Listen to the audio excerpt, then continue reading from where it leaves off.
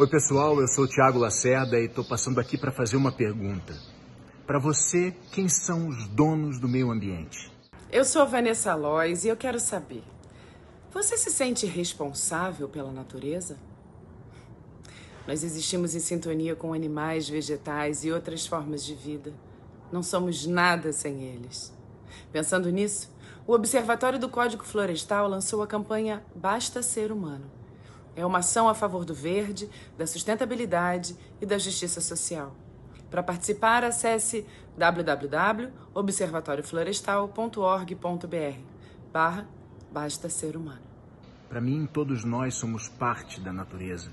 Defender a natureza, respeitar e proteger a natureza é uma responsabilidade e uma obrigação de todos nós, especialmente de quem vive e de quem ama o Brasil.